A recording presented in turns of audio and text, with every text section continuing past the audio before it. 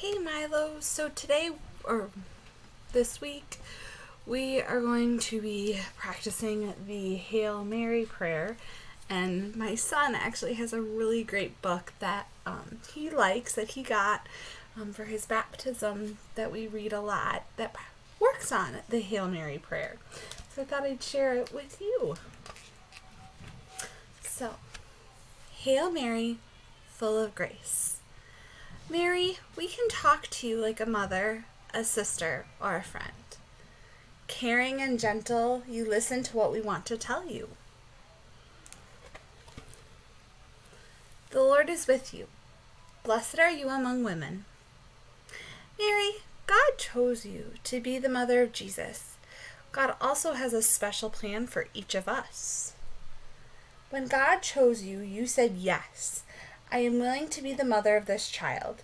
We too want to learn to say yes to the plan that God has for us.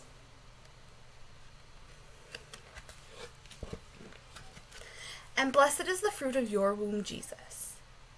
Holy Mary. Jesus was your child, and yet he is God, and today we pray to him. What joy for you, Mary, to have brought this baby into the world. He is like a light that shines in your life and in ours.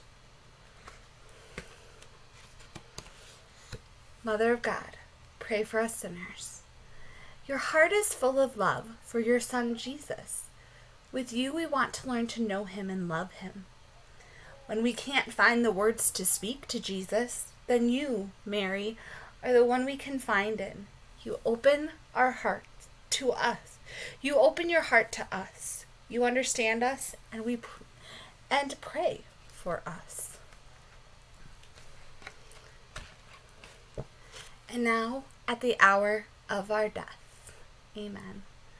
We want to make a special place for you in our lives to bring us closer to Jesus. And so I hope you enjoyed that.